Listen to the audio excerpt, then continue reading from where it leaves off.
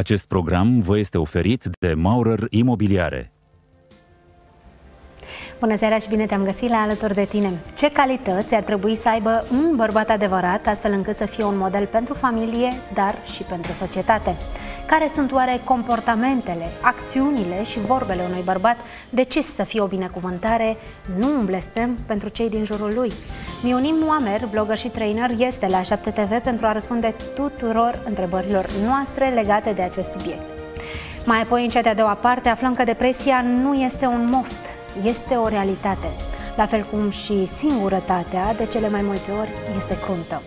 În această seară, de la ora 19 la 7 TV, afli de la psihologul Alex Cojocaru cum să faci față depresiei, dar și singurătății. Doar la alături de tine, bineînțeles. Eu sunt Alina Iloi Mureșan și te invit ca și în această seară să lași comentariile tale în live-ul de pe Facebook sau YouTube A7 TV. Trește viitorul la alături de tine.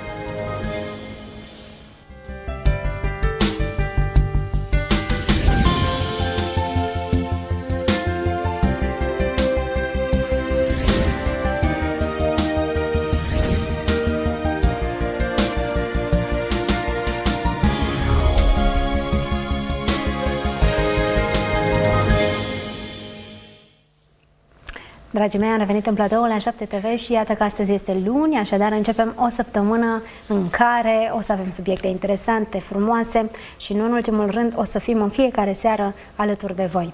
Este o plăcere să fiu din nou în platoul alături de tine, să dezbatem uh, subiecte minunate din care avem ce învăța, din care putem să zicem că după ce am închis televizorul am rămas cu ceva, cu ceva în plus, nu în minus, cu lucruri pe care le putem pune în practică în viața de zi cu zi.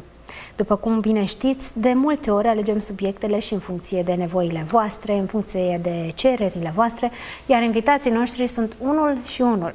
Puteți să lăsați comentariile voastre, fie că aveți întrebări sau că poate doriți să transmiteți și voi ceva legat de subiectul nostru în live-ul de pe Facebook sau YouTube A7TV, intrați acolo, scrieți A7TV și mai apoi în live m-am conectat și eu acum. Puteți să scrieți toate comentariile voastre, fie că doriți să-i transmiteți ceva, poate invitațiilor mei, fie că doriți să le puneți o întrebare sau știți și voi mai multe despre subiectul pe care îl dezbatem. Am ales să vorbim în prima parte despre bărbați. De multe ori noi tot am vorbit despre femei aici, am vorbit și am vorbit și unii bărbați tot au scris, dar despre noi, când veți discuta? Ei, iată că a sosit momentul. În această seară vom discuta despre voi, dragii noștri, despre bărbați. Cum ar trebui să arate un bărbat adevărat? Și nu mă refer aici adevărat la fizic, ci un bărbat care să fie o binecuvântare și nu un blestem pentru cei uh, din jurul uh, lui. Un bărbat care să știe cine este, să știe ce vrea și să știe care este direcția în care se îndreaptă. Dacă ne uităm în jurul nostru, vedem uh, mai multe tipare de bărbați. Bărbați în mai multe feluri, bărbați care poate sunt mai feminini sau bărbați mai masculini. Nu știu dacă există un șablon Așa, o să aflăm în această seară dacă există un șablon a ceea ce înseamnă un bărbat real, un bărbat adevărat, însă știu sigur că mai ales o femeie, la un moment dat își dă seama dacă în fața ei se află un bărbat real, adevărat sau nu. Poate că acela este șablonul. Dar haideți să vă prezint și noul meu invitat din această seară, care se află pentru prima oară aici la alături de tine, Miunim Muamer. Bună seara, Muamer! Bună seara! Bine v-am găsit! Bine te-am găsit! Iată, nu știu dacă să spun Muamer sau bărbatul superior. Cum dorești tu acum. Da, am văzut că atât pe Instagram, cât și pe Facebook uh, și pe site, uh, uh, nu știu dacă pe tine te denumești bărbatul superior sau dorești să transmiți o idee a bărbatului superior. Chiar am primit controversa asta de foarte multe ori, adică toată lumea crede că am pus numele paginii sau site-ului, încă eu mă consider superior uh-huh. dar este sub o altă perspectivă. Deci, uh, mai mult ai vrea să educi bărbații să fie uh, bărbații superiori uh, din toate punctele de vedere. Superior, adevărat, matur, putem să le luăm pe toate în același calcul. Din perspectiva asta am pus-o. Faptul că în ziua de astăzi sunt foarte mulți bărbați slabi, care nu mai sunt încrezători, nu sunt direcți, nu sunt sinceri și cu ei, dar și cu femeile din fața lor și să ajungem în punctul în care să nu mai stea cafenea, să se cocoloșească pe lângă ea, să încerce să o impresioneze. Din punctul ăsta de vedere am pus numele. Hm. Am înțeles, iată că în ziua de azi majoritatea bărbaților poate spun că spune majoritatea bărbaților că ar avea o idee foarte clară a cine sunt sau ce își dorește societatea. Dar dacă ne uităm în jurul nostru, eu, și asta e o părere personală, aș spune că văd tot mai mulți oameni confuși și aici nu mă refer doar la bărbați în general, dar în această seară, bineînțeles, discutăm iată despre bărbați, despre băieți. Uh, și te-aș întreba dacă un bărbat știe cine este sau nu știe cine este. Depinde pe cine trebuie. Adică sunt mai multe perspective. Din punctul meu de vedere, ca bărbat, trebuie să te autocunoști. Să știi cine ești, ce îți dorești și unde vrei să ajungi. Dacă nu știi lucrurile astea, te vei vârti în viață într-un cerc vicios. Da, dar uh, nu știu, am zis că nu există așa un, uh, un șablon pe care putem să-l folosim atunci când vine vorba de, uh, de un bărbat. Însă, cum ar trebui un bărbat să se autoanalizeze, astfel încât să-și dea seama dacă este pe drumul cel bun, dacă face ceea ce trebuie, nu face ceea ce trebuie? În interior. Mereu interiorul nostru colorează exterior. Orice în exterior înseamnă că vine din interiorul tău. Fiindcă fiecare om este special, are calități, defecte, adică nu ne putem compara sau să ne asemăna. Dar uitându-te în interiorul tău, ori ca bărbat, ori ca femeie, vei vedea mereu ceea ce reflectezi în exterior. Da, foarte interesant. Este suficient să ne uităm în interior și gata să spunem că am privit în interior și mai apoi am devenit uh, bărbați adevărați sau am devenit, am devenit ceea ce trebuie? Nu. Asta e doar primul pas. Uh-huh. După, va trebui să începi să vezi de unde vin aceste lucruri. Fiindcă încă din copilărie ni se fac anumite credințe imitative, ne interpretăm anumite, să zic, evenimente cu părinții noștri și automat de acolo vin uh, lipsa noastră de nesiguranță, de încredere, de, de masculinitate. Dacă tot ai pomenit de masculinitate, cum putem să o definim în zilele noastre? Ce este de fapt masculinitatea? Momentul când ești tu 100%, direct, sincer, fără să fie frică să fii respins sau abandonat. Atât? Asta e tot? Este okay. ceva, e destul de mai complex, dar am încercat să fiu cât mai succint. Te întreb eu, bărbatul care dă cu pumnul în masă este masculin? Nu. Bărbatul care subminează fii... o femeie este masculin? Nu. Bărbatul care nu știe să respecte o femeie este masculin? Nu. Atunci acolo ce este masculinitatea? Atunci, acolo sunt alte lucruri. Uh-huh.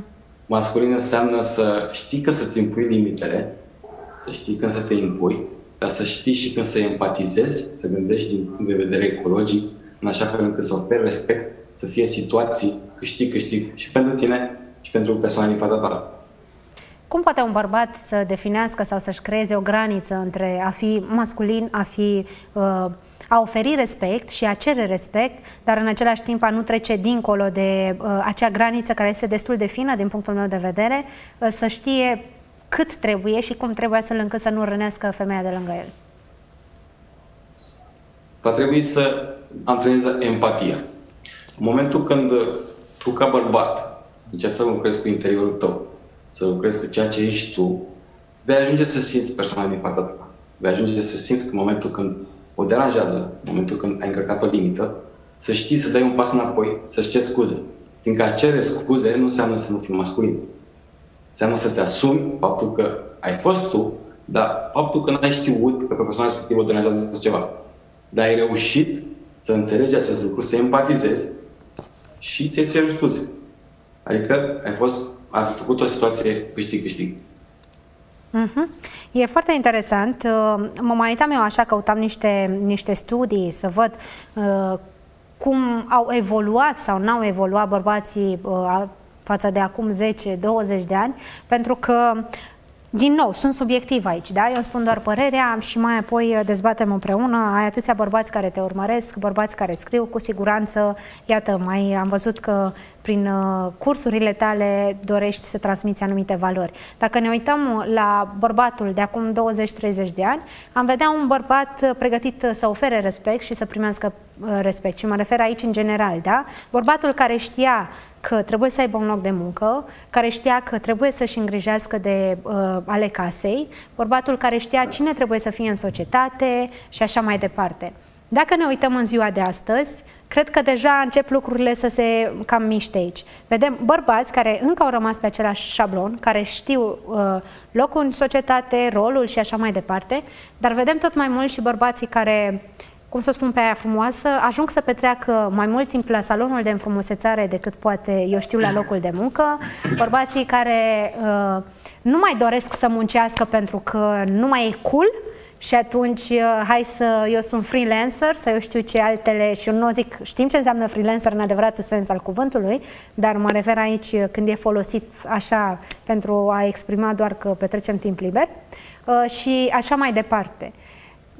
Cum putem să transmitem oamenilor din jurul nostru, bărbaților din jurul nostru, că iată ce se întâmplă acum 20-30 de ani era, să zicem, 80% ok și acum ne uităm în jurul nostru și nu știu, n-am găsit o statistică să spun cât stau mai mult uh, în saloanele de înfrumusețare, cât stau mai mult uh, la, uh, la sală sau așa mai departe.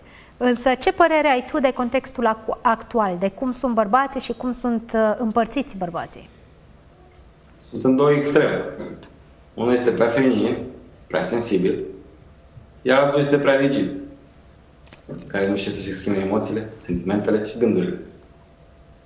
Dacă lucrezi cu tine ca bărbat și înțelegi aspectele de unde vine, de ce vine, adică să nu vezi doar fațada cutiei, să te uiți și înăuntru ei ce este, ajungi la mijloc.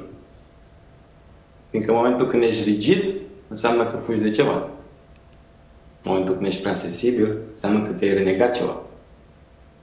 Deci hai să le împăcăm pe amândouă, să ajungem la mijloc. Care este, care este cea mai comună întrebare pe care, uh, iată, o are un bărbat atunci când te contactează și îți cere ajutorul în privința a ceva? Cum să am o relație de durată sau cum să fac să vorbesc cu femeile, să le abordez, cum să spun ceea ce simt și limitele mele, ceea ce mă deranjează. Cam astea sunt. Uh-huh. Și ating, acum am să ating așa un uh, subiect sensibil, pentru că am observat uh, că, într-adevăr, există tot mai multe cursuri de cum să obții femeia pe care o dorești, cum să intri în relația pe care o dorești, cum să o cucerești și așa mai departe. Așa. Însă, și am văzut că aici reacționează bărbații. Uh, cred că se activează și profilul lor de, uh, de vânători. Și ce zic, e pentru mine, trebuie să cuceresc, trebuie să... e ceea ce vreau. Însă mai puține cursuri am văzut cum să păstrezi uh, familia pe care o ai, cum să păstrezi femeia pe care o ai, sau dacă am văzut, cred că mai puțini abonați vedem acolo. De ce un bărbat este mai degrabă interesat de cucerire și cum să cucerească decât cum să păstreze? Fiindcă vrea totul acum, rapid, imediat, adică vrea să-i dai pastila magică și mâine deja să aibă haremul sau toate femeile.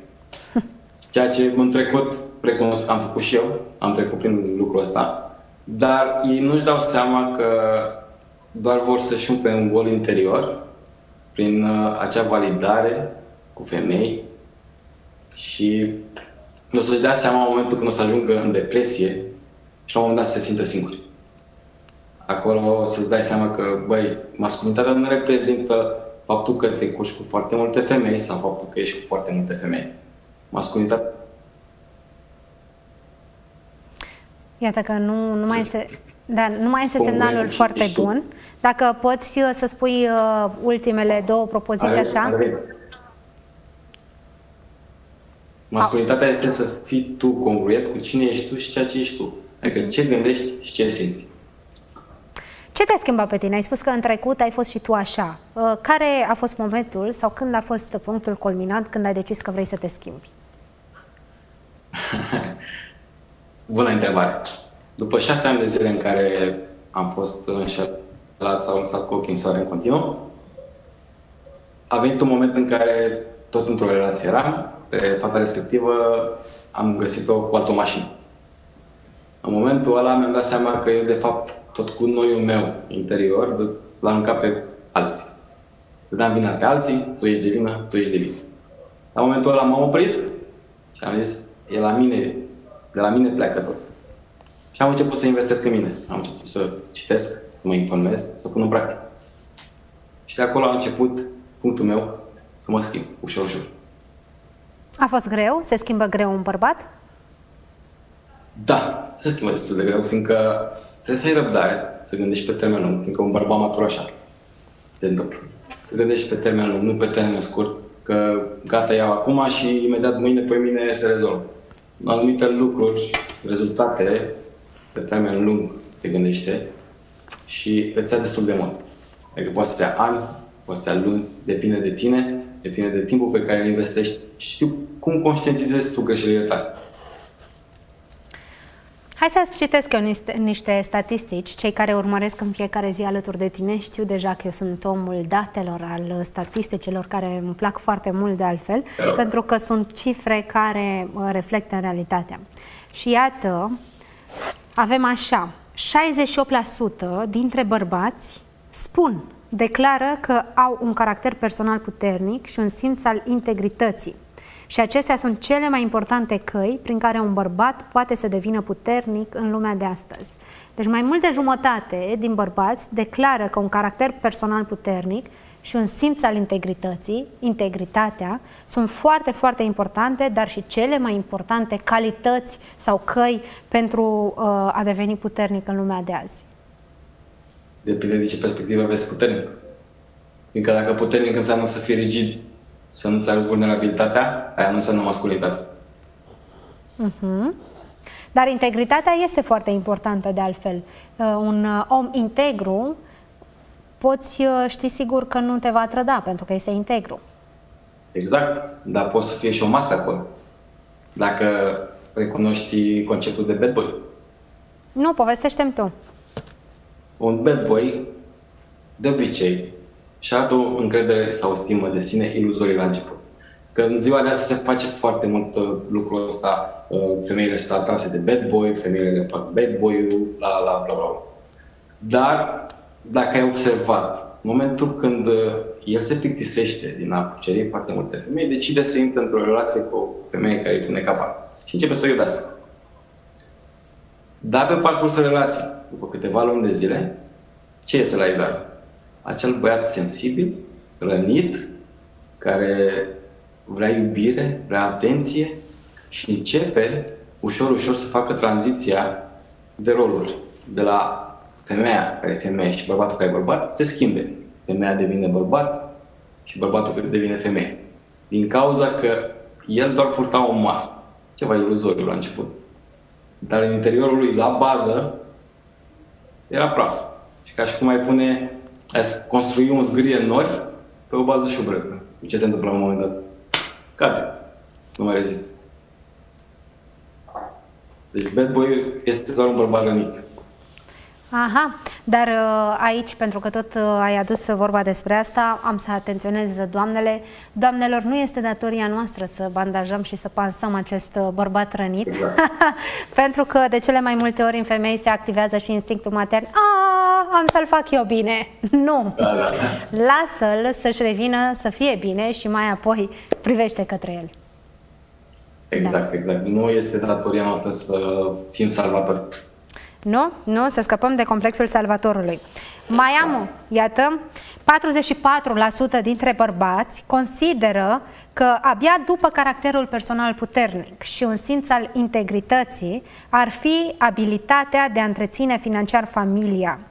E uh, uh, important atunci când vine vorba de un bărbat adevărat. Deci doar 44% consideră că un bărbat adevărat are abilitatea de a-și întreține financiar familia. Ce părere ai despre asta? În ziua de astăzi se pune foarte mult accent pe femeia vrea bani. Dacă n-ai bani, nu ești atractiv pentru o femeie. Dar te-ai gândit vreodată, dar de ce femeia vrea bani în ghilimele? De ce în spate acolo? Este faptul că un bărbat care are bani înseamnă că s-a expus destul la stres, a muncit enorm de mult pentru pasiunea lui, misiunea lui și poate să-i oferă protecție, siguranță și încredere pentru ea și copilul ce va urma. Că asta e la bază. Nu că vrea banii lui. vrea protecția, siguranța, încrederea. Poate să aibă o relație stabilă și de lungă durată. Într-adevăr, iată, o femeie are nevoie cel mai mult de protecție și siguranță. Să știe că uh, e protejată și să știe că este în siguranță. Uh, să, da. Niște lucruri elementare, esențiale pentru o femeie, fie că vorbim de o femeie de 20 de ani sau de una de 40-50 de ani.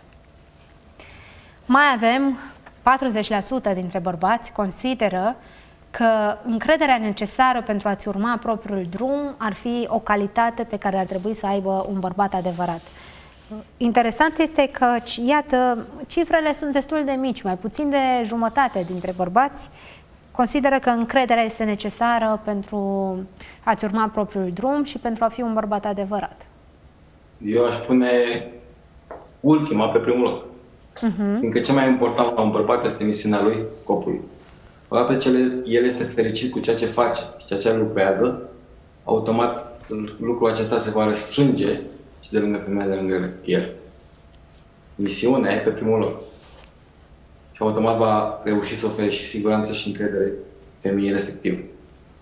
Iată, ne mai scriu uh, și telespectatorii noștri și Răzvan Iana spune salutare, salutare Alina, începem săptămâna în forță la emisiunea alături de tine cu doi invitați extraordinari și două subiecte foarte frumoase. Mulțumim uh, mult Răzvan, salutare și ție, într-adevăr, iată că am început săptămâna în forță. Cantacuz Nicolae, domnul Nicu ne scrie așa, bună seara de la Casa Luminii. Bună seara, domnule Nicu, ați reușit să urmăriți reportajul de mai devreme? Iată, ne mai spune Răzvan Iana foarte frumoasă discuția despre bărbați și despre bărbații de la sport. A, da, m-a arătat niște imagini cu bărbați care fac sport. O să discutăm și despre asta puțin mai târziu. Să vedem dacă un bărbat adevărat 90% din timp și-l petrece la sală. Mergem mai departe. Okay. Uh, ai vrut să spui ceva?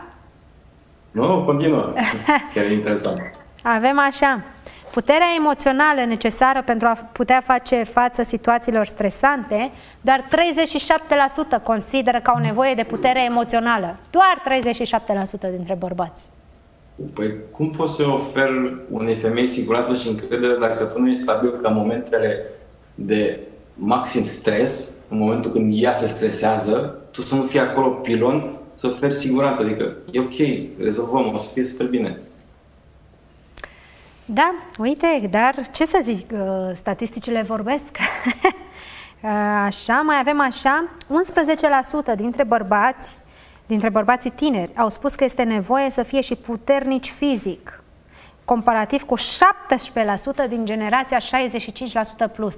Așadar, 17% din bărbații peste 65 de ani consideră că este nevoie să fie și puternici fizic, iar doar, 7, doar 11% dintre bărbații tineri consideră că este nevoie să fie și puternici fizic. Interesant. Nu mă așteptam cumva la statistica asta. Depinde aici. Aș fi de acord puțin. Din cauza că fizicul, da, este important. Nu cine zice lucrul ăsta, minte, din punctul meu de vedere. Uh-huh. Să ai grijă de tine și să oferi corpului ce ai nevoie, fiindcă automat tu poți să ai motorul, mintea, dar corpul dacă nu poate să ducă mintea, ce ai făcut? Nu ajungi nicăieri. Este nevoie să ai grijă de tine, dar nu la excesul ăla de vrei să vreau să primesc validare, vreau să primesc atenție, că arăt bine, nu știu ce, lucruri de gen. E ok să arăți bine. Faptul că te acces pe tine, tot în regulă, nicio problemă. Eu sunt acesta. Deci ar fi bine să existe un echilibru, da? Discutăm aici despre da. un echilibru între este puterea sufletească, puterea emoțională și puterea fizică, dacă uh, exact. ar considera necesar bărbatul respectiv. Exact. Echilibru peste tot. da. Mă mai uitam acum, iată că mai avem niște date și anume uh, că părinții știi foarte bine că joacă un rol extrem de important în viața copiilor și mai ales atunci când vorbim și de modelarea bărbaților și anume, uh, tot datele arată că 83% spun că mamele lor au avut un impact pozitiv asupra lor, pe când 74% spun că tații au avut o influență pozitivă. Așadar, atunci când vorbim de un bărbat, și nu este o noutate, se pare că mamele au un cuvânt mai mult de spus. De asta se și spune câteodată că soacra l-a crescut, soacra e responsabilă. Bine, până la un anumit punct. Ideea este că orice mamă de băiat ar trebui să conștientizeze că are o influență de, de uh, foarte, foarte mare, adică mai mult de 83% din bărbați consideră că au fost influențați de mamele lor, pe când doar 74% dintre bărbați spun că tații au avut o influență pozitivă în viața lor. De asta este bine să ne analizăm puțin și să vedem și o să te întreb și pe tine cine a avut mai mare influență în viața ta, mama sau tatăl tău? Mama, fiindcă ai mea o divorțat când aveam vârsta de șapte ani. Uh-huh. Și automat, și în ziua de astăzi se întâmplă lucrul acesta când tatăl pleacă de lângă copil, muncește foarte mult sau pleacă în străinătate. Și automat mama și-a și rolul de mamă și rolul de bărbat. Dar o femeie nu prea are cum să învețe pe băiatul respectiv masculinitate, fiindcă femeia cum e construită? Să fie feminină, uh-huh. iubitoare, răgăstoasă, sensibilă. Un mascul este să fie stabil, să ofere stabilitate, siguranță, încredere și gen, sunt diferite. Iar mama, când își ia și rolul ăla și rolul ăla, îl învață că trebuie să-i aduci mereu flori, trebuie să-i oferi mereu cadouri și spui în fiecare zi că te iubesc, să o alinți în continuu acela deja e sufocant. Mm. Sau dacă nu ai această iubire, devii rigid. Adică automat, neavând conceptul de a oferi iubire și a simți, ești pe partea cealaltă. Ești, ești orgolios, arogant și nu ai nicio treabă prin simplu fapt să-ți arăți ce simți pentru femeia respectivă. Dar tu ce ai spune că mai degrabă ar conta pentru un bărbat uh, iubirea sau respectul? Amândouă. Amândouă în uh, aceeași măsură. De multe ori am mai uh, citit, n-am acum niște date, dar în general bărbații declară că preferă respectul uh, pe primul loc și mai apoi iubirea pe al doilea loc. Păi fără respect nu există atracție și fără atracție nu există iubire. Deci este un efect, efect domino. Dacă nu este respect, nu o să existe atracție și nici iubire. Totul pornește de la respect. Dacă femeia nu oferă respect bărbatului și bărbatul la fel, uh-huh. unde este iubirea? Da, iată, uh, mă mai uitam acum și pe Instagramul tău la ceea ce transmiți celor care te urmăresc și ai tu așa câteva declarații, citate pe care le postezi okay. și ai spus tu aici că un băiat bun mereu va sta pe gânduri să ia o decizie de frică să nu fie criticat sau judecat de ceilalți. Da. Aici vrei să spui că bărbatul uh, stă pe gânduri uh, de frică să nu fie criticat sau judecat atunci când vine vorba de a lua o decizie? Da, fiindcă e frică să nu fie respins sau să nu piardă. Dar uh-huh. în majoritatea cazurilor este primul, frica de a fi respins. Fiindcă stă foarte mult pe gândul să se gândească uh, ce să zică persoana respectivă, dar ce, cum să mă compare, ce să se gândească și vrea să ia o decizie în funcție în care să iasă el mereu, mereu acceptat și să fie în regulă. Care am putea spune noi că este cea mai mare temere a unui bărbat, dacă tot ai pomenit de frică acolo? Care este cea mai mare frică pe care ar putea să aibă un bărbat? În ziua de azi, frica de abandon. Frica de a avea o relație și a începe să pui suflet, să ajungi în acea durere și suferință. Este cea mai mare pentru un bărbat de ce majoritatea bărbaților nu se deschid emoțional sau nu-și dau voie să simt, să se apropie de o femeie. Din cauza că nu vor să sufere, nu vor să simtă acea durere. Foarte interesant uh, aici. Iată că nu am spune că bărbatului ar fi frică de, de abandon, i-ar fi frică de... Dar se pare că sub acel aspect uh, așa de bărbat dur, a, ia uite ce efecte frumoase avem aici. da. Uh, atunci când vorbim de uh, un bărbat dur, în spatele acelui aspect de bărbat dur, uh, se află de fapt și o sensibilitate aparte, nu? Și aici am să mai adaug eu sau am să te întreb, dacă un bărbat adevărat, așa cum uh, ar trebui să fie în societate, știe și când să fie sensibil și poate să fie sensibil și știe și când trebuie să fie un pic mai dur și poate să fie și mai dur. Tu dacă ești în regulă cu interiorul tău, vei vedea sau și dacă ai multă experiență. Fiindcă eu am și lucrul acesta. Nu vârsta oferă maturitatea și experiența pe care o Uh-huh. Dar iată că iar s-a întrerupt puțin internetul nostru, dar tocmai la timp ca să văd ce ne spune și Răzvan Iana, că bărbații adevărați se uită la Liga 1 sau la Formula 1. Ia uzi, de-am putea cataloga bărbații adevărați în funcție de, ce, de la ce se uită ei și ce privesc. Măi, Răzvan, nu știu ce să zic, ne-am dat repede uh, seama dacă un bărbat este adevărat sau nu, că e simplu. Lucrurile nu sunt chiar atât de simple. Apropo de frici și de temeri, mai am niște date pentru voi și știți bine că îmi plac datele foarte mult. Se pare că, așa, când vine vorba de frici și de temeri, avem așa, 28% din cei intervievați au declarat că se tem de căderea părului. 28% dintre bărbați se tem de căderea părului. Iată, nu e neapărat o surpriză că știm uh, că... Dar, Muamer, dacă ești alături de noi, te întreb și pe tine, ți-e frică? Ai și tu această temere să nu-ți cadă părul? Nu am nicio problemă. Îmi cade părul și e chiar și alb puțin. Aha. Nu am nicio problemă. Pentru ce?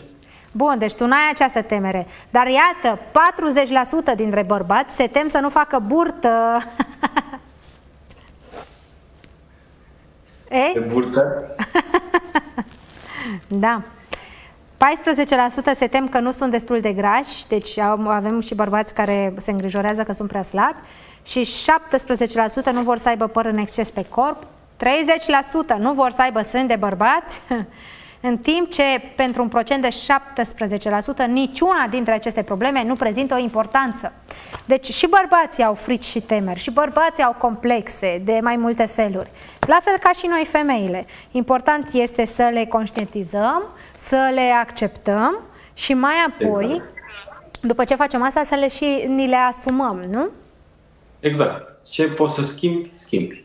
Ce nu poți să schimbi, accepti.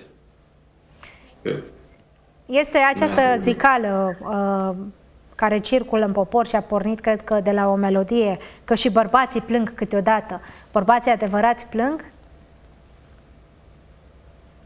Da, nu.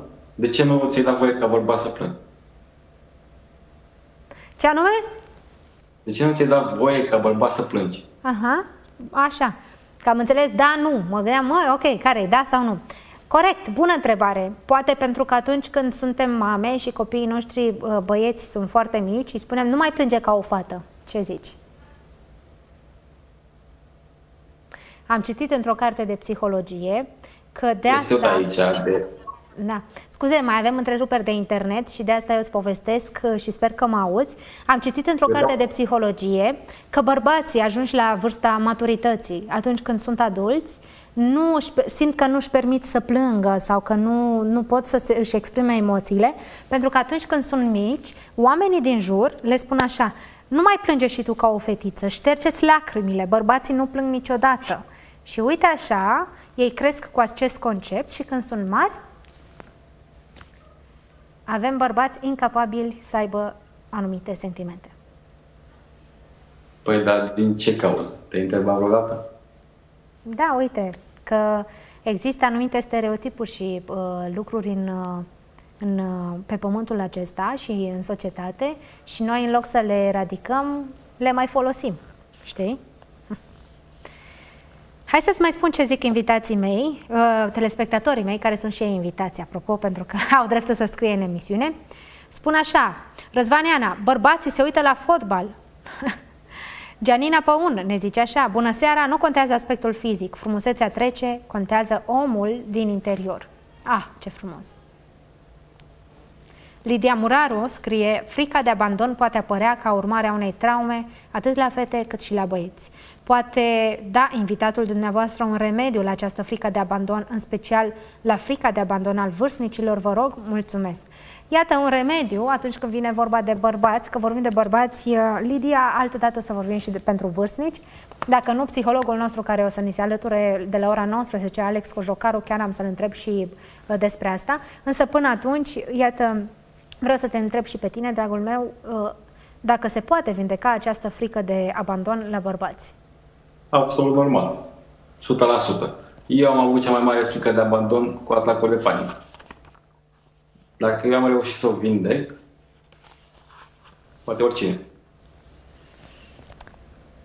Eu sunt uh, foarte curioasă cum arată din punctul de vedere a unui bărbat, pentru că, iată, dacă vorbim de frică de abandon, nu putem să nu ne gândim și la relații. Cum arată din punct de vedere al unui bărbat o relație ideală, o relație minunată? Să fiu cât mai sucint, în primul rând, direct, echilibru. Dar acolo, într-o relație, este vorba de foarte multă comunicare, respect, încredere și sinceritate. Este cel mai frumos momentul când tu, ca bărbat, ești vulnerabil în fața, respect, în fața respectivă și îi spui ce simți. De exemplu, mă simt așa. De ok, se rezolvă. Adică mă duc să caut soluții. Nu sunt la modul fragil și mă plâng. A, că toată ziua a fost nașpa, că nu-mi place, că viața este urâtă și lucruri de gen. Este total diferit. Dar trebuie să existe foarte multă comunicare între cei doi. E minunat magia aceea și mai ales și sexual vorbind și acolo să fii prezent ca bărbat, să te conectezi cu femeia respectivă și să simți fiecare emoție și să-i sopi fiecare emoție pe care ți-o oferă. Iată că ne mai transmite și Cami White legat de ceea ce povesteam noi și zice așa, bună, mamele care își cresc fiii ca pe veșnic băieți și fii care nu au un model de tată, nu vor deveni bărbații care protejează și oferă siguranță. Se vor ascunde mereu după fusta mamei și a soției. Nu vor putea deveni soți, tați, cel mult băieți mai mari care vor avea grijă de fiilor ca de frații mai mici. Nu își vor asuma sarcini și nici responsabilitatea asigurării creșterii spirituale, intelectuale și materiale familiei. Și vrei să zic ceva în legătură cu asta? nu, nu spune dacă nu simți, nu. Eu uh, îți citeam acest comentariu pentru că, iată, și Cami White spune uh, legat de mamele care își cresc fii ca pe veșnic, băieții și fii care nu au un model de tată. De aceea este important, poate câteodată, să căutăm și un model de masculinitate în viața copiilor noștri, dacă nu este, nu știu, dacă, cumva să-l includem și pe tată în, uh, în ecuație. Este foarte important modelul masculin în viața unui bărbat.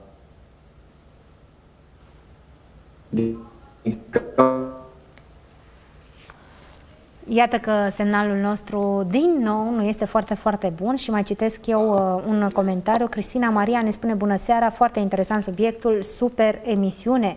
Bună seara, Cristina Maria, mulțumim mult, ne bucurăm că îți place subiectul și emisiunea. Eu să știi că tot stau după semnalul tău, uh, Moamer, să nu te super pe mine, tot pic. Nu. da. Eu mă văd. Da, da, da, se mai întrerupe din când în când și de asta uh, mai citesc eu comentarii, astfel încât să îi dăm ocazie internetului să-și revină. Dacă ar fi să dai câteva sfaturi în câteva minute pentru uh, toți bărbații care ne urmăresc, dar și femei, că iată avem și telespectatoare acum, care ar fi acelea în ceea ce privește ce le recomanzi bărbaților atunci când își doresc să fie mai buni în toate domeniile?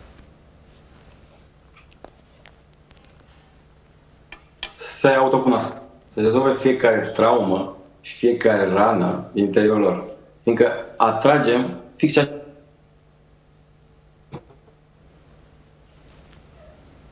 tu ești. Dacă ți-e frică să fii respins, vei atrage chestia asta. Dacă ți-e frică să fii abandonat, vei atrage lucruri. Dacă tu nu te cunoști pe tine și nu cunoști de unde vin aceste lucruri și ce părinții tăi. Lași viața să meargă așa. Fiindcă relația noastră cu mama este direct proporțională cu relația cu femeile din viața noastră. Relația cu tatăl proporțională cu relația cu băieții.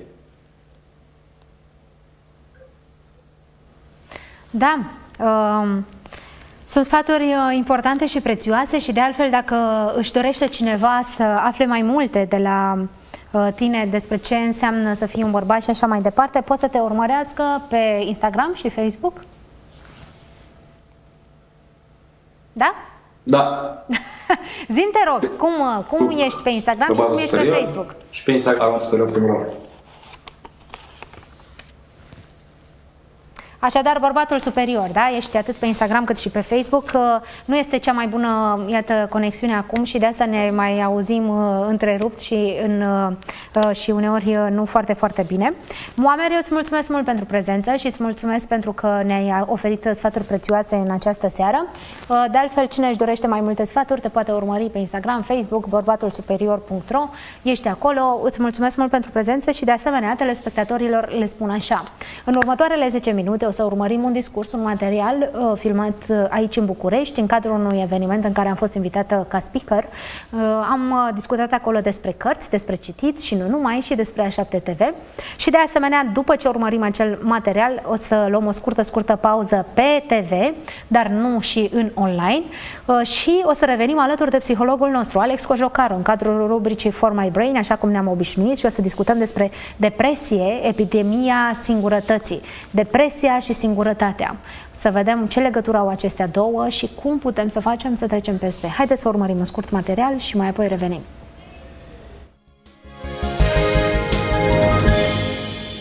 Redactor șef la 7 TV. Mulțumesc. Autoarea a trei cărți. Cine sunt eu când nu mă vede nimeni? Interesant titlu. Mulțumesc. Așa vei ști că l-ai întâlnit pe el și te iubesc pe nevăzute mai mult o să te lăsăm pe tine să ne spui despre, despre tine și despre activitatea ta și a, așa vine și prima întrebare, că se leagă cu toate lucrurile astea.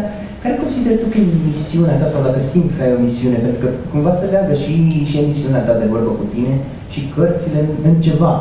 Care e acel ceva? Bună seara, bună! Mă bucur uh, că am reușit să fiu în această seară aici. Da, așa este. Cred că de când eram chiar uh, copil, am simțit că am o misiune, nu știu, zici că ai, ai știu de undeva. Uh, mereu mi-a plăcut să, să fiu aproape de oameni și mi-a plăcut foarte mult să simt că într-un fel sau altul reușesc să fiu alături de ei. Fie prin ceea ce spun, fie prin ceea ce scriu.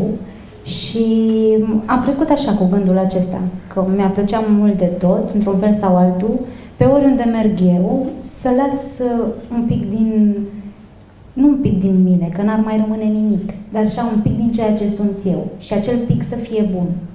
Și deseori mi-am făcut așa radiografia ale sufletului și mă întrebam, ok, am plecat de aici, oare ce am lăsat?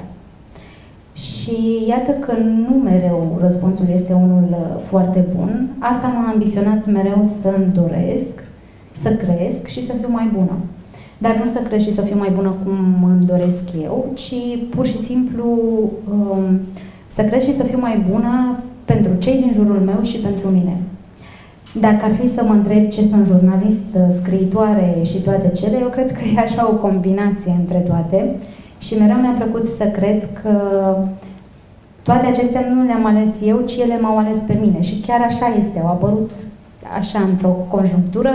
Eu mi-am dorit să fiu detectiv sau psiholog de când eram micuță și am ajuns jurnalist și scriitor cred că le pot combina pe toate, chiar și partea de detectiv și de scriitor. Am început să scriu uh, de pe la vârsta de 17 ani, dar am început să citesc de când nu aveam nici măcar 6 ani. Am iubit cartea și am moștenit de la mama asta, cititul. Îmi place foarte, foarte mult și uh, am fost îndrăgostită de carte. Spun am fost pentru că n-am mai întâlnit copil ca mine, preferam să nu mănânc și stăteam în cameră închisă și citeam. Și mai apoi, tot pe la vârsta de 17 ani, uite acum fac o legătură, că am început și să scriu și în același timp să lucrez și în televiziune cam relativ la aceeași vârstă. Tot așa, ca din întâmplare, am ajuns în televiziune. Uh, am fost uh, pe la mai uh, multe televiziuni. Am ales acum A7 TV, deoarece este un proiect mai nou, în care ne dorim să aducem foarte mult partea educativă în România și să ne concentrăm pe oamenii care vor să facă bine și frumos. Și atunci mereu căutăm fețe proaspete care nu apar pe altundeva și dorim să le promovăm și dorim să inspirăm pe oameni să mai caute și altceva să se mai concentreze și pe altceva, să mai asculte ceva din care să rămână cu o idee acolo. Dacă ai stat o oră întreagă și te-ai uitat la televizor, cu ce ai rămas? Asta e mereu întrebarea pe care ne punem și în redacție. După o oră de televizor, ai rămas cu ceva sau nu? Și iată, cam așa se împlătesc uh, acestea. Eu am, am adus și cărțile, m-a învățat cineva un pic cu marketing, deși nu, nu m-am priceput uh, foarte bine până acum, dar face parte din. Uh, aceasta este Te iubesc pe nevăzute. Aceasta este prima carte pe care am scris-o, așa vei ști că l-ai întâlnit pe el. Și ultima carte, Cine sunt când nu mă vede nimeni, ultima carte acum, că eu o scriu pe a patra. Așa. Și aceste cărți nu le-am scris neapărat uh, pentru că uh, mi-am dorit să dovedesc ceva, ci le-am scris efectiv pentru că am simțit. Și o mare parte, tot din ceea ce fac eu, cred că se bazează pe asta, că simt. Pe feeling, da? Pe feeling. Apropo de ce spune că te-au găsit pe tine ocupațiile da. astea pe care le-ai avut până acum. Da. Să înțeleg că îți plac oamenii. Foarte mult, îmi plac foarte mult oamenii. E drept, uh, nu mereu. Am două părți. O parte când îmi place foarte mult să fiu înconjurată de oameni și să vorbesc cu ei și uh, să comunic, să aflu multe, dar am uh, și perioade și etape în viața mea când prefer să fiu singură. Nu am să ascund asta, o săptămână, două, trei, cât mă ține. Cred că atunci e și partea când scriu mai mult. Da. Tu ai și scris și probabil nu ai publicat încă și poezie, corect? Așa este, da, am 25 uh, de poezii. Uh, le-am tot, uh, le-am strâns eu așa de-a lungul timpului și mi-am propus cândva să public și acest volum. Încă nu am căpătat curaj. Am avut, zic am avut, încă mai am acest blog, dar din păcate de când sunt mamă, am un băiețel de patru ani, de când sunt mamă mai greu cu scrisul pe blog, dar da, acolo am început să scriu poezii și s-au adunat și o să le publici la un moment dat? Îmi doresc, da. da. Uh, am putea să te întrebăm și despre ce e următoarea ta carte? Da, sigur că da. Despre ce e următoarea ta carte? am să spun uh, foarte puțin. Uh, am uh, scris deja 50 de pagini și m-am uitat foarte mult în jurul meu în acești doi ani. Am conștientizat că am început să devenim cam egoiști din toate punctele de vedere. Și mi-am dorit să împletesc așa frânturi din, și de altfel în toate cărțile mele sunt frânturi din ce am trăit eu pe propria piele, cu frânturi din ce văd că trăiesc alții și cu un ideal pe care mi l-aș dori eu în lume, pe pământ. Și atunci am zis, prin această carte mi-aș dori foarte mult să ne încurajăm, și zic ne pentru că și eu am nevoie, să continuăm să fim buni chiar și când nu primim înapoi bine. E foarte tare că se leagă cu o întrebare pe care mi-am notat eu aici conștiincios, mi plănuisem și anume, știi cum au și companiile și oamenii o viziune așa.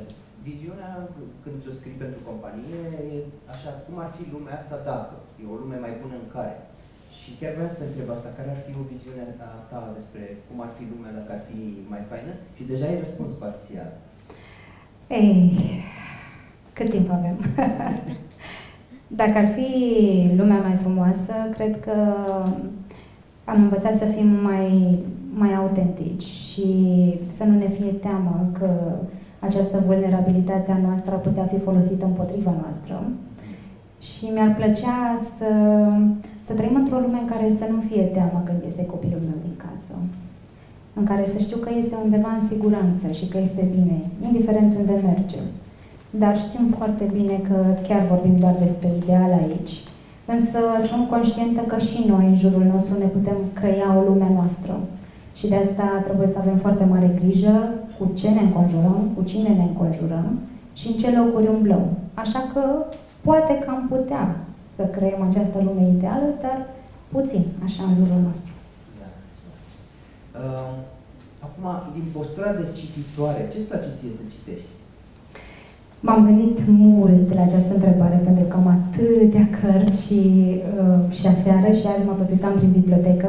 Eu sunt, uh, mie place și pe vizual să tot aduc uh, și în mașină mai am încă vreo 10 cărți, dar nu le-am adus aici, le-am luat cu mine, da? Uh, am să spun uh, de cartea de care m-am îndrăgostit eu, de când, uh, cred că aveam 10 ani, știu, eram micuță, dar mi-a plăcut foarte mult și am citit-o de două ori. E vorba de Idiotul, de Dostoevski. E cartea care și-a lăsat uh, amprenta asupra mea foarte mult. Uh, cred că chiar de acolo am simțit eu că aș putea să scriu câte ceva. Și insist să spun de cartea aceasta pentru că eu cred că se poate aplica și în ziua de astăzi. Ne uităm în societate și s-ar putea să regăsim foarte multe aspecte de acolo. Asta este cartea mea preferată. Celelalte două m-am tot gândit uh, ce să propun și pentru că vorbim și despre carieră și atunci am vrut să, să vin așa pregătită să fie și pe tematică. Am ales din bibliotecă o carte de John Maxwell, uneori câștigi, uneori înveți. Nu știu dacă ați citit-o, dar vă recomand, are mai multe cărți. Este, am zis să vin cu ceva ce nu prea se recomandă, ca să mai aduc un altceva. E una din cele mai bune cărți, fie că vorbim de carieră, de dezvoltare personală, cărți în care, uh, carte în care poți să regăsești foarte, foarte multe încurajări și nu numai. Și mai am o carte pe care am adus-o cu mine, de Nick Vujicic, dacă ați auzit. Iată. Este din nou o carte care te încurajează să trăiești. Să trăiești așa cum ești, să ai curajul să ieși din limitele tale fie că vorbim de viață personală, fie că vorbim de carieră. Și nu știu cât timp mai avem, dar mă lași să citesc ceva scurt, scurt? Sure. Da? E ok? Din cartea aceasta lui John Maxwell am vrut să citesc ceva pentru că tot vorbim și de carieră și totuși vorbim și de viață implicit. Și am să citesc așa repede ca să nu răpesc timpul. Când oamenii refuză să se uite în oglindă și încearcă să dea vina pe alții, vor avea aceleași rezultate tot timpul. Poate că cea mai bună descriere pe care am auzit-o vreodată și totodată soluție este cea dintr-o piesă intitulată Autobiografie în cinci capitole scurte. Capitolul 1. Mă plimb pe stradă. În asfalt este o gaură mare. Cad în ea. Mă pierd. Sunt neajutorată. Nu e vina mea. Îmi iau o veșnicie să ies de acolo. Capitolul 2. Mă plimb pe aceeași stradă. În asfalt e o gaură mare. Mă prefac că nu o văd. Cad în ea din nou. Nu-mi vine să cred că mi s-a întâmplat din nou, dar nu e vina mea. Și de această dată mi-a foarte mult să ies la suprafață. Capitolul 3. Mă plimb pe aceeași stradă, în asfalt o gaură mare. O văd că e acolo. Cad în ea. E un obicei. Dar am ochii deschiși. Știu unde mă aflu. E vina mea. Ies de acolo imediat. Capitolul 4. Mă plimb pe aceeași stradă. În asfalt e o gaură mare. Trec pe lângă ea. Capitolul 5 mă plimb pe altă stradă.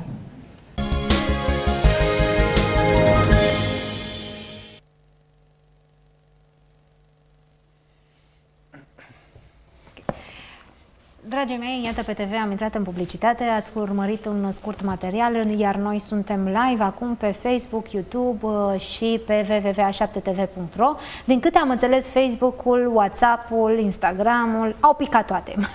Așa că vă recomand să mergeți pe YouTube. Și degeaba spun că sunteți pe YouTube pentru că nu mai suntem live pe TV. Eh, vezi, uite cum a cu conexiunea. Deci, dragii mei, cei care ne urmăriți de pe YouTube, felicitări, rămâneți pe YouTube pentru că YouTube-ul este singurul care nu a picat în această perioadă. În ultimele minute am observat că ceva este în neregulă cu Facebook. Așadar, uh, iată că invitatul meu numărul 2 deja a venit în platou și vom mai avea o scurtă pauză de vreo 5 minute pe TV, după care începem emisiunea așa în, uh, în toată splendoarea ei și vorbim despre depresie și singurătate. Însă până atunci, așa cum v-am obișnuit, uh, vă arătăm câteva lucruri din backstage, ce se mai întâmplă prin culise, Uh, nu știu, Alex, dacă vrea să spună un secret doar pentru online, îl spune, ca cei care intră după aia pe televizor să, să fie geloși, să nu știe. nu știu, ce secret să le spunem? Păi nu știu, secretul nemuririi. nu. Păi știi care e secretul nemuririi? Până în acea zi ești nemuritor. Aha, da. Deci n-am știut că îl, îl cunoaște, dar da, se pare că îl știe, da. da. Uh, important este că eu mă gândesc să luăm fiecare zi, cum e aia, și trebuie să am grijă mereu ce spun, să mele cuvintele cu grijă că el e psiholog. Atunci mă gândesc că poate interpretează. Cea mai importantă e direcția, nu? Direcția, Până nu? la urmă. Către Pentru ce că dacă merge? toate gândurile mele se duc într-un loc negativ, mohorât și chinuit, acolo mă duc și eu cu gândurile și cu sufletul și cu energia. Dar uite, vreau să te întreb ceva până intrăm și sper că apuci să-mi răspunzi. Eu o să mă anunțe colegii mei când intrăm și pe TV. Vreau să te întreb cum faci să nu ai gânduri negative când totul e negativ în jurul tău? Păi nu e negativ. E o chestie de percepție. Nu știu. Mm. Faci COVID. E un moment de panică, ok. Dar ai 14 zile în care poți să stai acasă. Și dacă ai făcut și vaccinul și nu ai o formă complicată, poți să citești cărțile pe care le-ai ratat în ultima și vreme. izolat. Și izolat. Da, nu știu. Poți să faci niște lucruri pe care nu le-ai făcut înainte. Ești în partea asta de online, de acasă, cu muncă. Îți poți așeza lucrurile în așa fel încât să ai timp cu familia, ceea ce n-ai avut de nu știu cât timp, și să lucrezi seara, după 10 seara. Uh-huh. Și să-ți rezolvi problemele. Deci întotdeauna, în orice rău există un bine. Și în orice bine există o bucățică de rău. Aha, deci așa îți cauți tu un, un gând pozitiv și optimist. Sunt în două acolo. minute jumătate revenim uh, și pe online pe TV. Iată ce pierd cei din... Mhm. da. Deci, nu știu, găsești jobul perfect. Nu mai ai timp. Tocmai era ceva foarte bun, nu? Are și o umbră cu el, lucrul acela bun. Deci, Ai găsit, nu știu, ai petul preferat, un cățel care te iubește enorm, îl duci de fiecare dată la 5 dimineața afară. Nu știu, pentru unii poate să nu fie cel mai fericit lucru, dar câinele e un lucru extraordinar de fain. dacă îl Dar pentru un, plimbă iubitor altcineva... de, pentru un iubitor de câini. Da. Dar vine cu responsabilități, deci cumva nu scapi de umbră. Uh-huh. Umbra și întunericul. Și în același timp, fiecare lucru care are în mod normal un element negativ în el, are și lucruri pozitive. Inclusiv, nu știu, uh, un moment de cumpănă uh, foarte critic ne poate da valoare vieții. Hmm. Deci, Deci trebuie să căutăm e o, mereu chestiune lecția, de, un- da? e o chestiune de unghiuri, pur și simplu, de unde te uiți. Ce învățământ tragi de acolo? Pentru că, din punctul meu de vedere, asta este singurul lucru care nu ne părăsește niciodată până în ultima zi, dezvoltarea și capacitatea de a învăța din fiecare lucru care se întâmplă. Uh-huh. Și acest lucru chiar face viața foarte faină. Deci Pentru că viața îți e poți faină, folosi curiozitatea și învățarea astfel încât fiecare zi să însemne ceva. Și în fiecare zi să găsim frumosul, nu? Cum e cana aceasta, uite, exact. găsit. Cum era? Flor- Flori de mucigai. Nu, unde? Cum unde? era? Stai Nu așa, că ziceam, uh, vreau să mă lau cu varianta cana de- mea în A, te online rog. cât uh, apuc aici.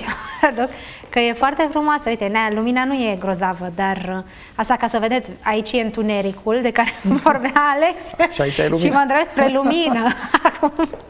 Da, ideea este că am vrut să le arăt cana mea grozavă și minunată, pentru că e so cute și îți mărturisesc că, uite, eu în asta văd frumos, câteodată când vin în uh, platou și știu că mai am 5 minute și începe emisiunea, mă uit, uite așa, la o cană din asta, păi și parcă deodată mă simt mai ok. Mai e un lucru. Contează unde îți focusezi foarte mult atenție. Dacă în spate ai cele mai, multe, cele mai multe și mai urâte clădiri de hoteluri din lume și în fața ai o bucățică de plajă, dar tu te concentrezi la prietenii cu care ești acolo și la distracția de pe plajă, nu vei remarca faptul că în spate sunt niște construcții oribile, pentru că ești în moment, în distracție, în locul pe care ți l-ai făcut și te-ai concentrat asupra lui. Și ne concentrăm că mai avem 20 de secunde. Da, mai avem 20 de secunde și imediat și ne nu le spunem reîntoarcem. nimic celor de pe TV. Ba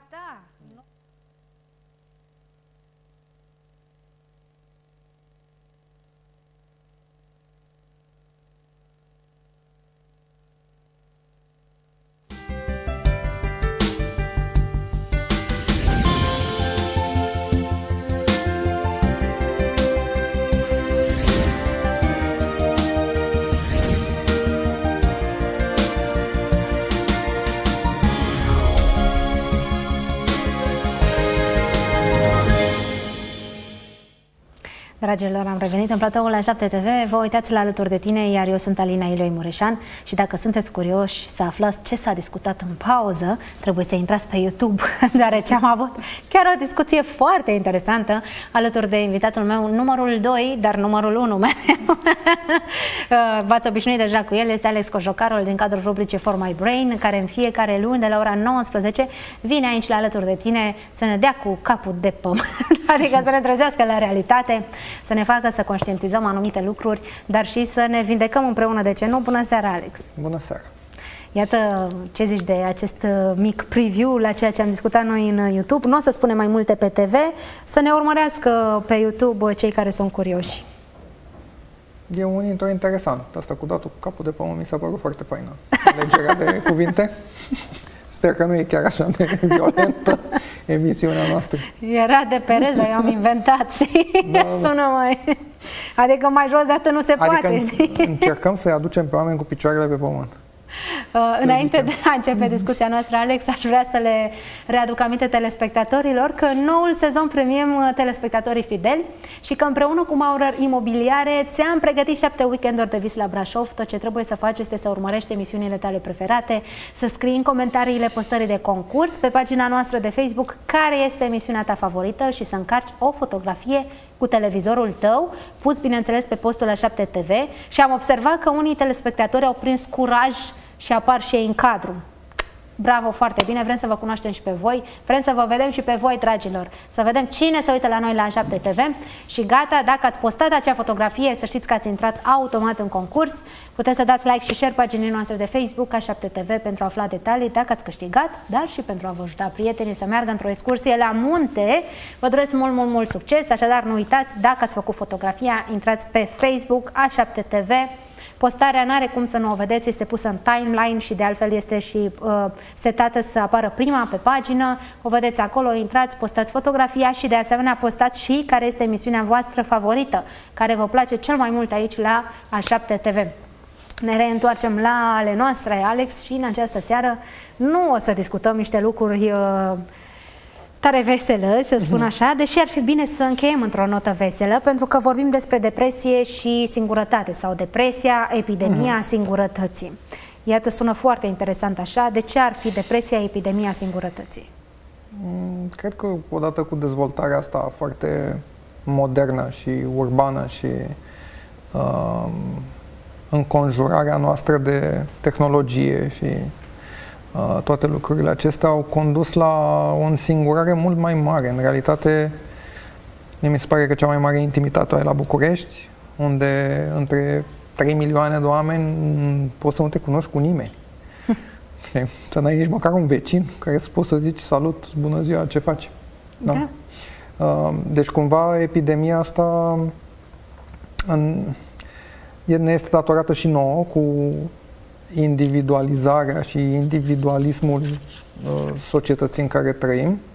Deci numai o societate care ține de uh,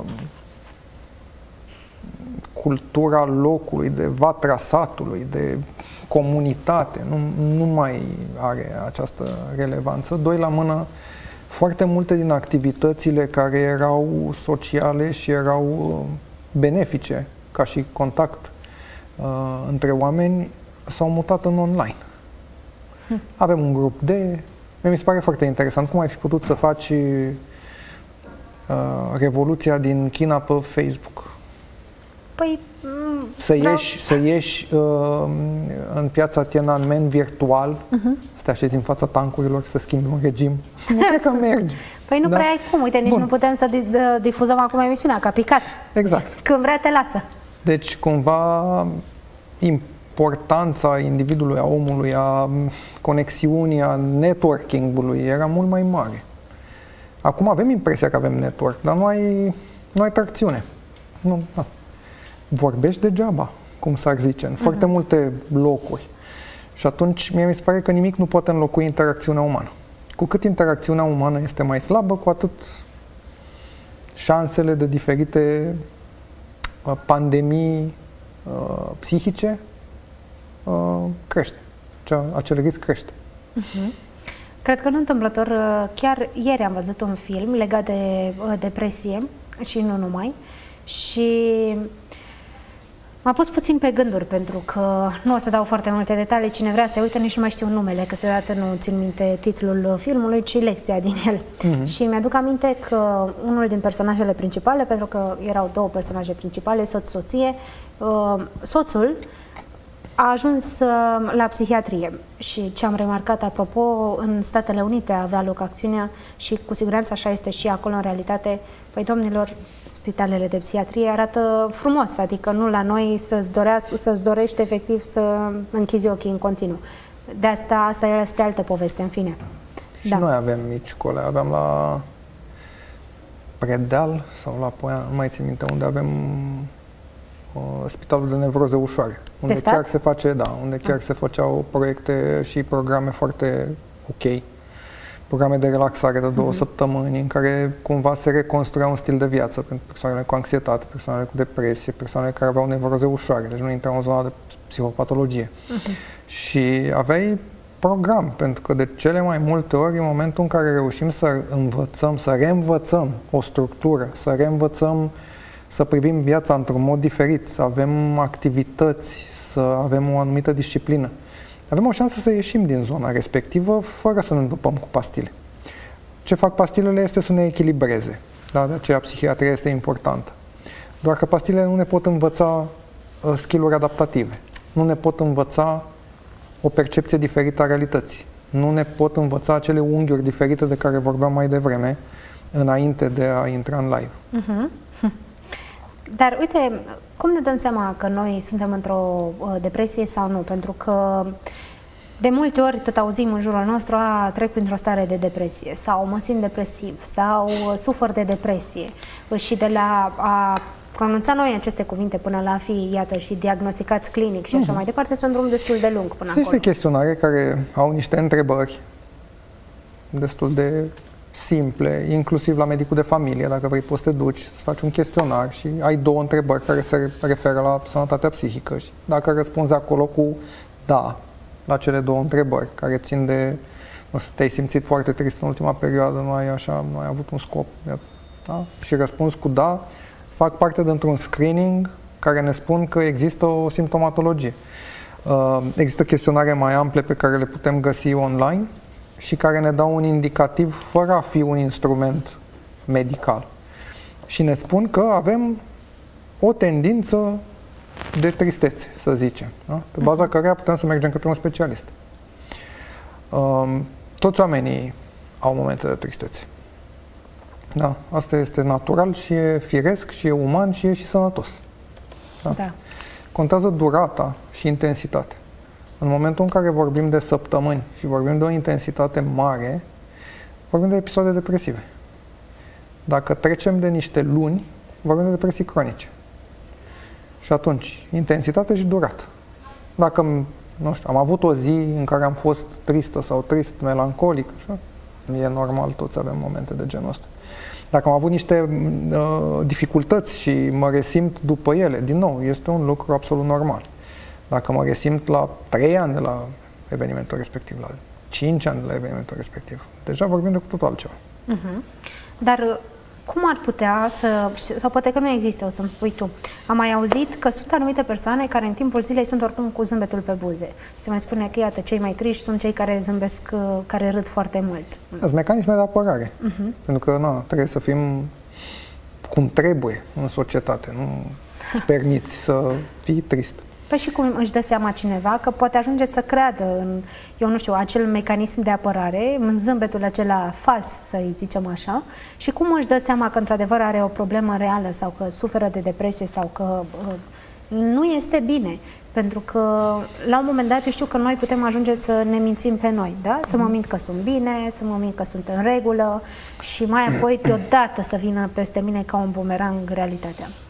Din nou, putem să folosim un pic de factor extern, niște prize de realitate, în care putem discuta cu oamenii care ne cunosc de mult timp, dacă s-a schimbat ceva, dacă ne percep uh, modificați comportamental. Um, astea sunt niște lucruri care se pot vedea în al doilea rând. Cred că de multe ori cam simțim când lucrurile ne fug de sub picioare. Uh-huh. Doar că de multe ori nu suntem de acord cu lucrul ăsta și îl ascundem sub preș foarte tare. Nu e cazul. Pentru că de cele mai multe ori să te deschizi, să vorbești onest și să povestești unei persoane de încredere starea respectivă ajută foarte mult. Închiderea de obicei nu prea ajută. Comunicarea, socializarea, ieșitul către exterior, acțiunea, uh, sunt toate elemente antidepresive. În momentul în care deja am postura omului uh, fetus și m-am lăsat copleșit de tristețe și nu mai mă îndrept către nimeni în exterior, Uh, nu mai văd speranță, toate lucrurile sunt gri, uh, orice analizez din jurul meu îi dau o conotație negativă. Sunt elemente care îmi spun că în cel mai bun caz mă apropii de un episod depresiv. Și atunci, iată, am, am, am intrat pe YouTube și am observat comentariile celor care ne urmăresc și scrie Chirteș Daniela, de asemenea, aha, iată, nu, i-a spus eu le-am pe astea toate. Mă speriasem Daniela, dar mai sus, în alt comentariu, spune am intrat târziu, eu nu am Facebook și eu le-am pe astea toate. Nu înțeleg, Daniela, dacă ai toate simptomele de care mm. vorbeam mai devreme sau dacă ai, chiar ne-ar interesa să știm uh, aceste detalii, deoarece poate putem să ajutăm într-un fel sau altul. Cristina Iana ne zice bună seara, super tare emisiunea, Dani Chera este alături de noi, Mariana Iuga ne salută, Răzvan Iana spune, dragă Alina, de ce a picat Facebook? Nu știu, că ne iubește Marc foarte mult. Mm, nu știu ce s-a întâmplat, a picat și Facebook și Instagram și WhatsApp de asemenea.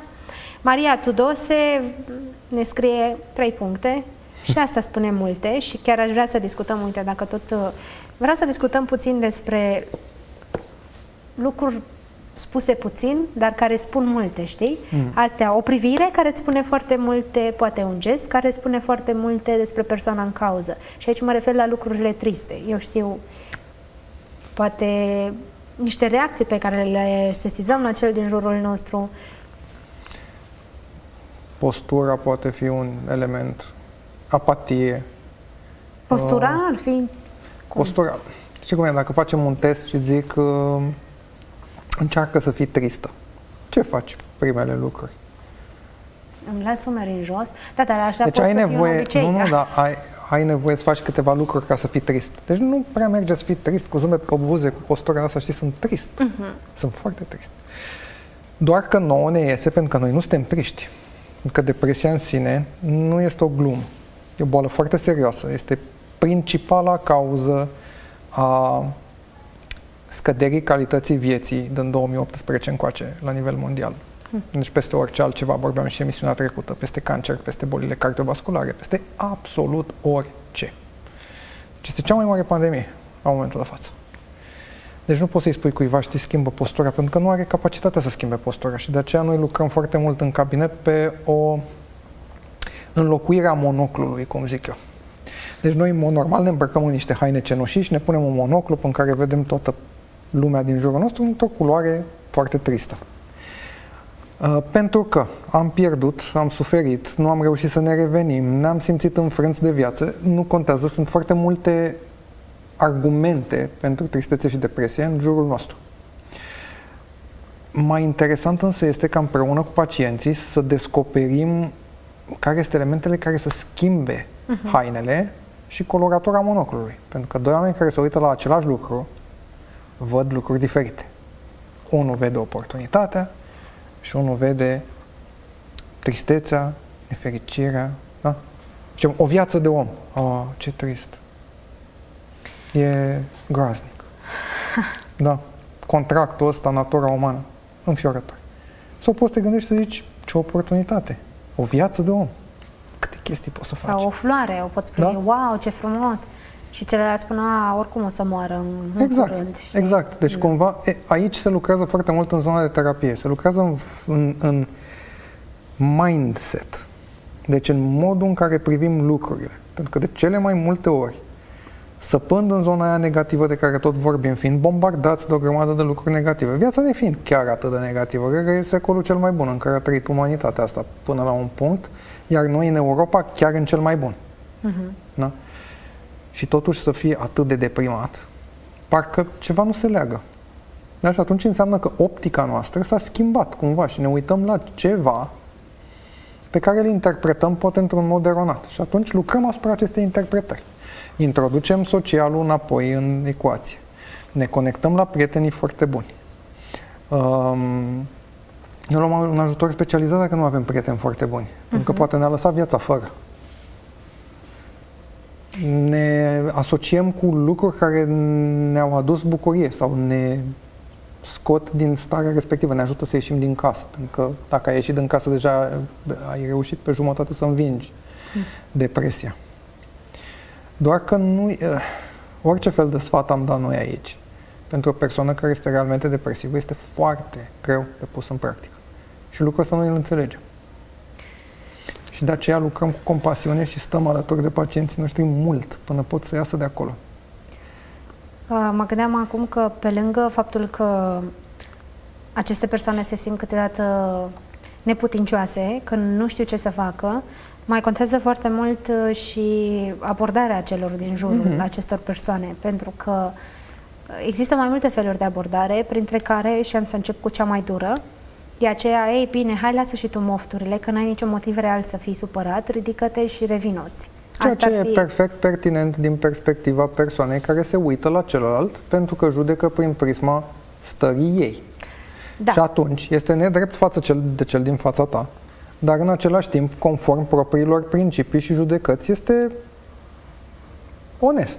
Da, dar atunci Doar că acel onest așa. Uh, rănește foarte tare, pentru că în partea cealaltă ajunge um, lipsă de ascultare, lipsă de înțelegere. De empatie. De empatie. Pe de altă parte, o persoană care este cu adevărat în depresie uh, este greu de atins, este greu de ajuns la ea. Uh-huh. Adică simpla însoțire și dragoste și așa nu e suficient. Pentru că persoana respectivă nu te simte. Este într-un gol pe care noi din afară, din normalitate, nu-l înțelegem. Și atunci e de lucru multidisciplinar, astfel încât să reușim să ajungem la persoană, să putem să facem prize de realitate, să avem pe ce să avem aderență cu ceea ce lucrăm. Uh-huh. De aceea se folosește partea de medicație. Da? Pentru că sunt, sunt uh, momente în care nu funcționează nimic din ce ne gândim noi, psihologie uh, pe bază de dialog, psihoterapie pe bază de dialog, nu funcționează. Cognitiv-comportamental, nu ai, nu ai aderență, nu are pe ce să se așeze. Um. Și atunci lucrăm interdisciplinar, lucrăm psihiatru cu psihoterapeut, pentru că, am zis și mai devreme, medicația ajută să echilibreze chimia pe care apoi putem să modificăm tipurile de comportament și de abordare a vieții. Uh-huh. E foarte greu să faci chestia asta doar prin dialog. Sau existau metode mult mai dure pe vremuri, că de asta era depresia mai puțină, că era viața atât de rea încât nu mai, nu mai, ce tristețe să mai ai. N-aveai că te mă, mătura frigul, când erau minus 40 de grade acolo pe curbura, acolo pe la Harghita, cu Ovasna, știi, când vin minus 40 de grade la Cristorul Secuesc, când încerci să spargi lemnele iarna, ți are toporul în ele. Și trebuie să faci cald în casă. Îți trece și depresie și tot. Păi și aici am să, ating, am să ating un subiect sensibil da. Uh, care mai circulă că, și anume că depresia este un lux pe care numai uh, anumite persoane și-l uh, permit. Mm, înfrângerea și-o permite multă lume. Înfrângerea asta emoțională, care nu mai faci față. Și, într-adevăr, uh, cred că generația noastră este un pic mai uh, moale prin faptul că nu s-a confruntat cu o realitate atât de dură de la bun început. Adică nu, în, în perioada stoicilor, anii 30-40, nu aveai cum, nu te, aveai foame, te aveai o grămadă de norocire, aveai moli, aveai războaie, aveai... Dacă rămâneai de, deprimat, uh, se făcea selecția naturală foarte dur, adică nu prea aveai șanse de supraviețuire. Hmm. Și în acest caz, dacă privim la cum sunt lucrurile în societate în ziua de astăzi, cum... E foarte greu de lucrat ceea ce venea natural înainte, și acum ne-a rămas nouă în responsabilitate să ne ocupăm de acele lucruri într-un mod forțat, pentru că ai nevoie de mișcare, ai nevoie de repaus, ai nevoie, ziceam la un moment dat că viața unui câine e chiar mai faină decât a unui om care muncește într-o corporație, că na, câinele după ce a mâncat bine se duce, se bagă sub o mașină și doarme două ore. Uh-huh. Că e natural. Omul nu-și permite, se duce din nou la muncă și repede mănâncă, repede nu se și s-a dus înapoi. Uh, e o luptă în sine să reușești să mai faci ceva din naturalul, din datul natural, din ceea ce am fost noi antrenați, din instinctele pe care avem, uh-huh. din emoțiile pe care le avem, din ce ni s-a pus acolo pentru supraviețuire. vorbeam și data trecută, că sunt foarte multe lucruri pe care le folosim atipic. Deci în zona de anxietate noi avem stresori neadevărați. Da? Nu poți să-i spui un om cu anxietate care stresori neadevărați. Sunt acolo, stresori. Îi percepe organismul lui ca fiind adevărați. Și atunci lucrăm până îi scoatem. Poate duce depresia la sinucidere? Cu siguranță da. În ce punct? Sau Uh, în momentul în care, mie mi se pare așa, că în momentul în care moartea devine mai uh, seducătoare decât viața pentru o persoană, apare riscul suicidului. Iată, ne scrie uh, și Chirteș Daniela că da, le am pe astea, toate simptomele, sunt singură și în depresie de peste 20 de ani, ne scrie mm. Daniela. Iată, 20 de ani în care uh, este singură și în depresie. Poate că în această seară cine știe, aducem așa uh, da. o rezolvare într-un fel un sau pic altul. De lumină. Un pic de lumină, da. Um, e greu de depășit zona asta de singurătate, pentru că dacă e o singurătate cronică, încep să nu mai ai încredere că poți să ieși de acolo. Pentru că tu repeți un tipar timp de 20 de ani. Eu pot să vin să zic, știți, soluția ar fi, mă băiatule, tot 20 de ani, du-te de aici. Din nou, e un proces lung ca să poți să ieși dintr-o dintr-o urmă pe care ai tot repetat-o. E ca la mașină, știi? Când uh-huh. te mhm. așezi în zăpadă și calci foarte tare să ieși de acolo, ai văzut cum se scufundă imediat. Și dacă eu fac chestia asta 20 de ani, e complicat. Și atunci o întreagă, un întreg efort și un întreg demers de a ieși de acolo. Și nu, nu e ușor, nu e facil. Așadar, când, uh, cu cât uh, recunoști mai repede problema, cu atât o poți rezolva. Și cu spun siguranță. problema pentru că na, ne referim la depresie, dar... Nu da. știu, vorbim de exemplu de depresie minoră. Da? Este distimia, care este o stare de depresie moderată ca intensitate, dar care este, de exemplu, um, moștenită, se preia de la părinți.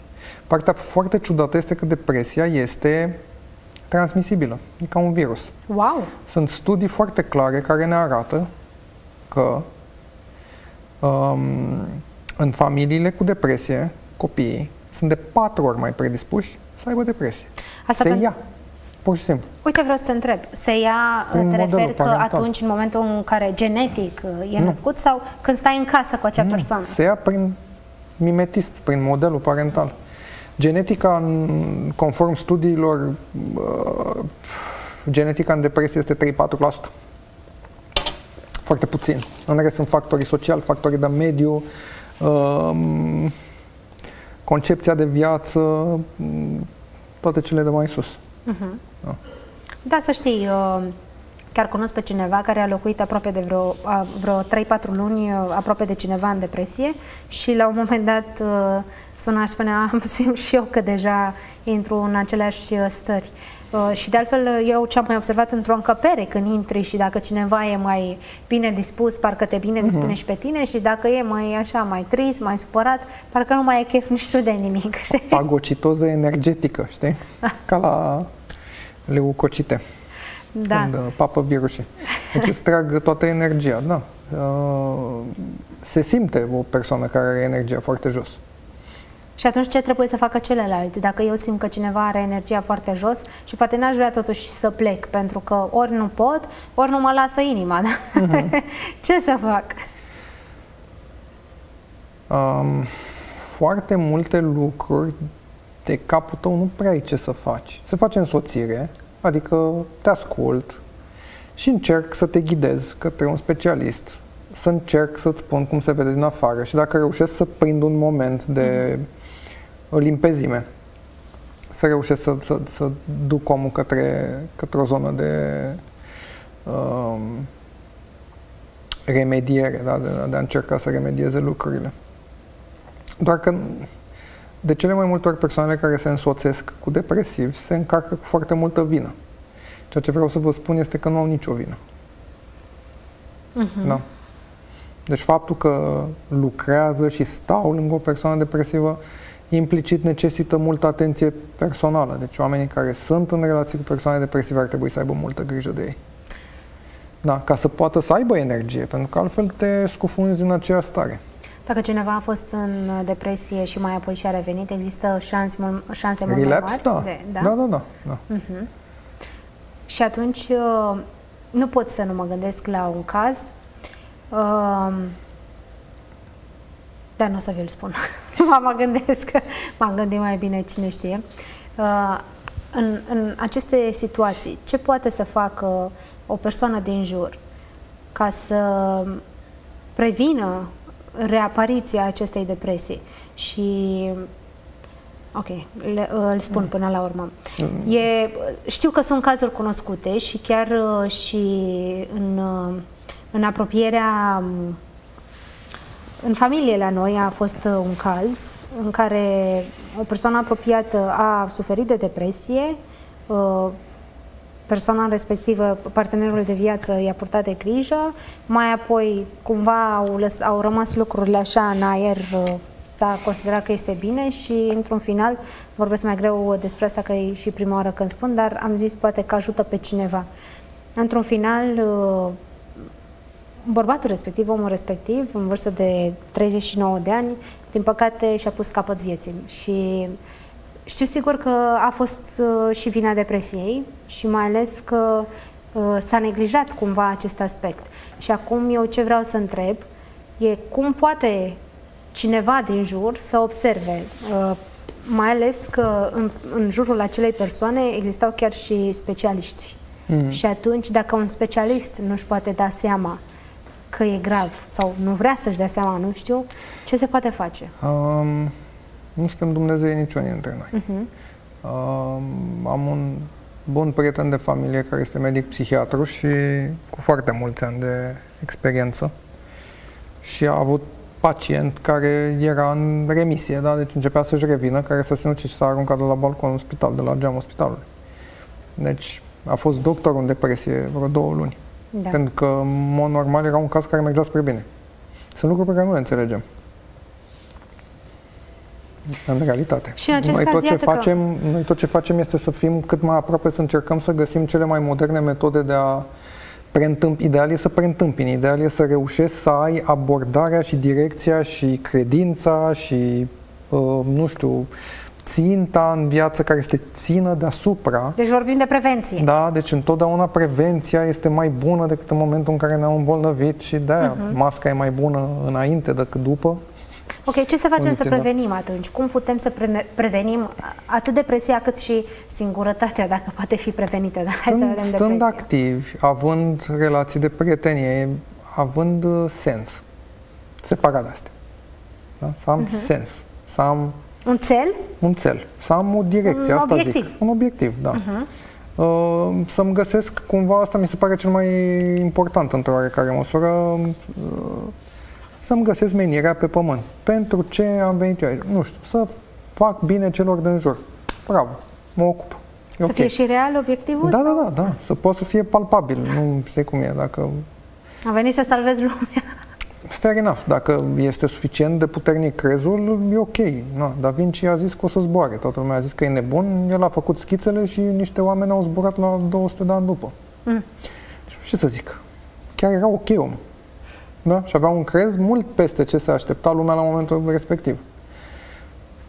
Deci, nu nu există limită la credință, Mhm. la țel.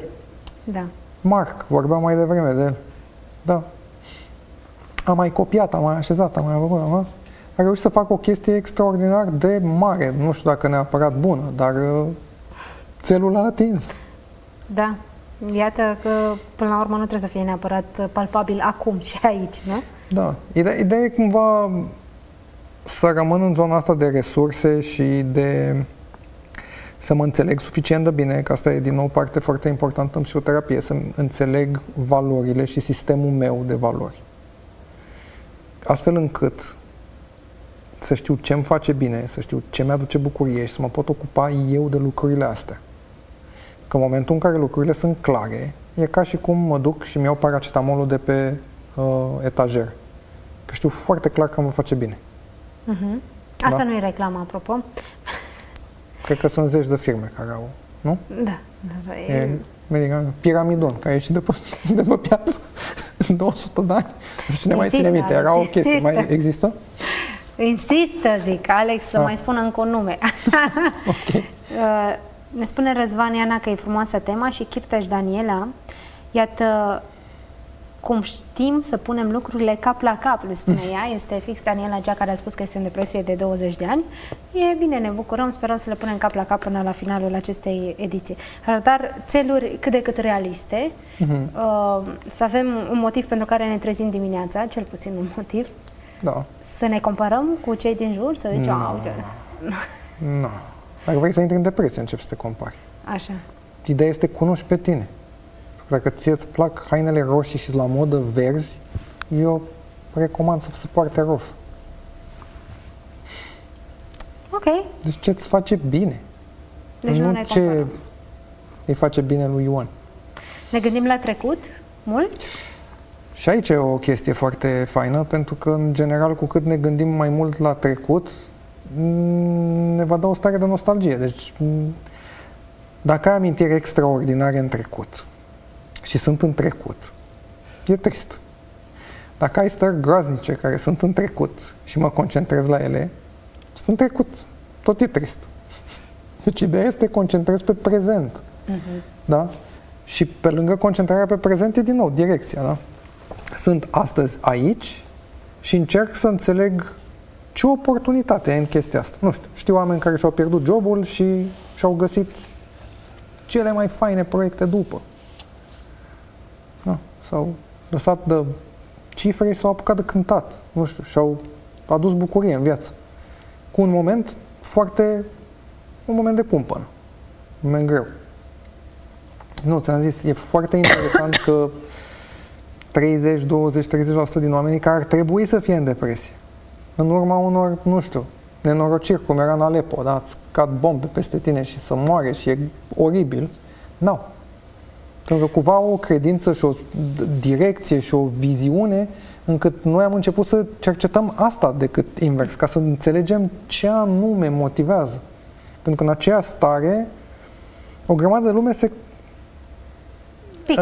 Uh, se duce către ce rău a fost, ce nenorocire. sau- Țin minte, era un exemplu al unui domn care avea 100 și de ani, evreu, își pierduse soția în Auschwitz, uh, îngropase doi copii uh, și era super happy. Și l-au întrebat cum e posibil.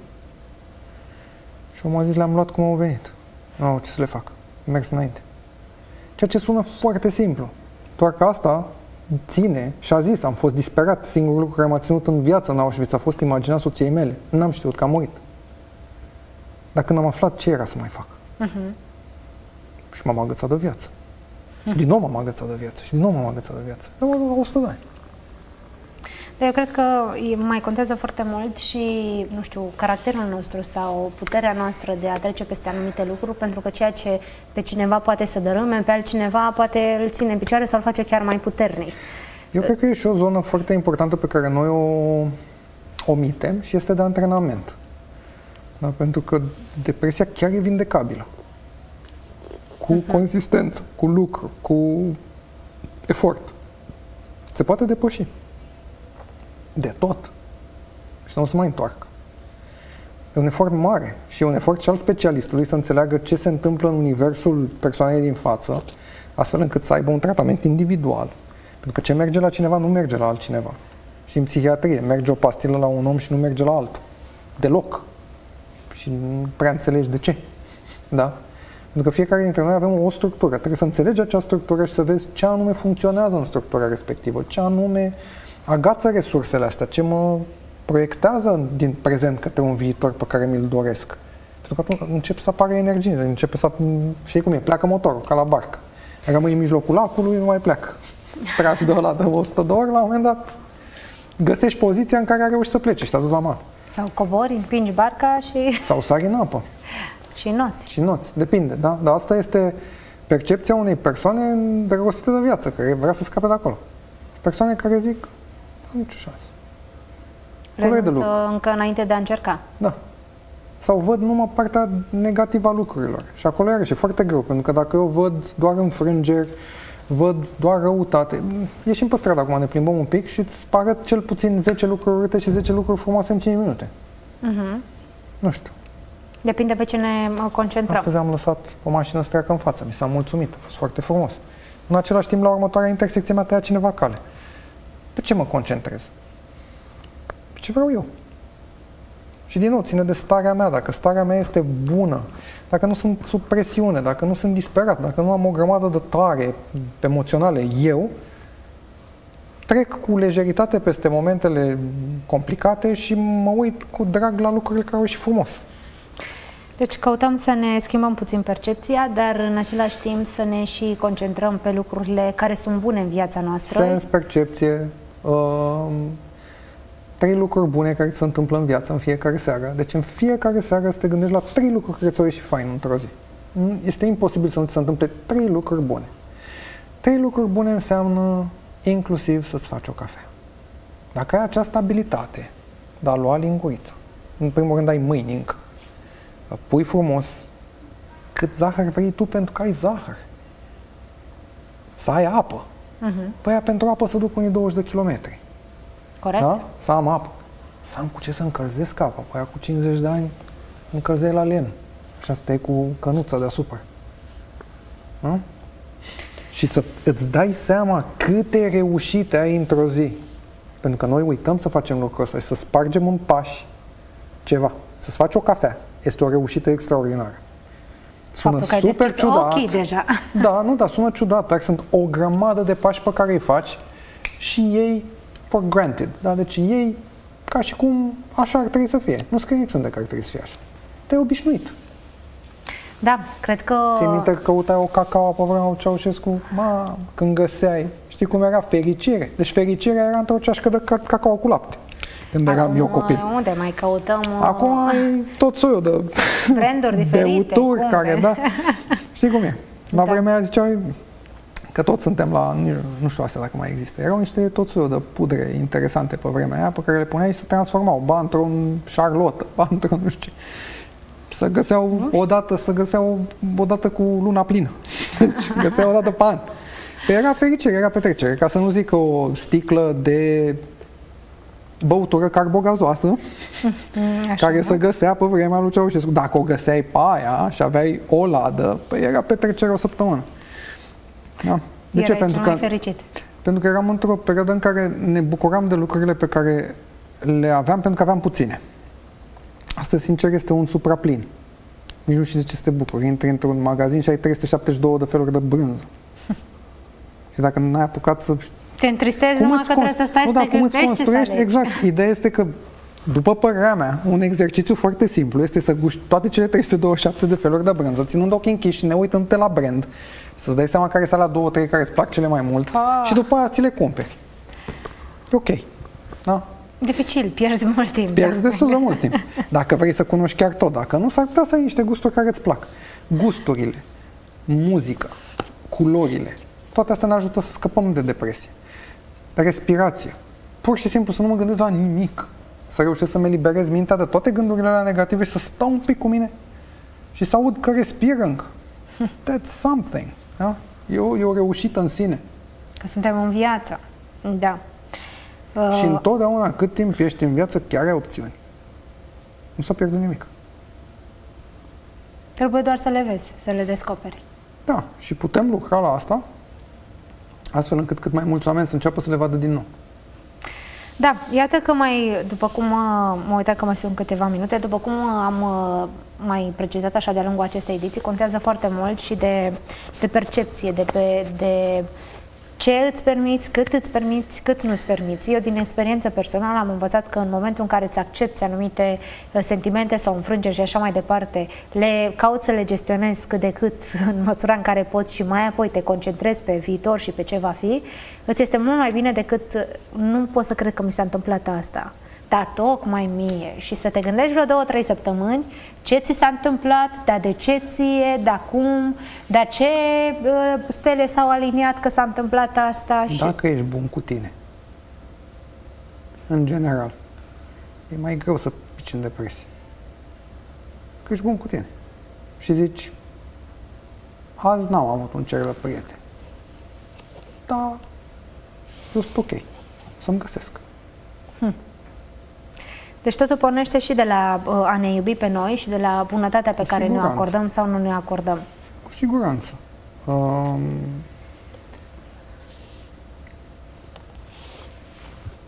și ar mai fi un lucru, cumva, depresia este uneori și o scuză bună. Că ne putem ascunde de viață. Eu nu mai pot. Gata.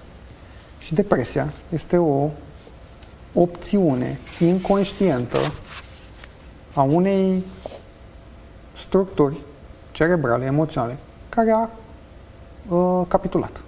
Nu mai vrea.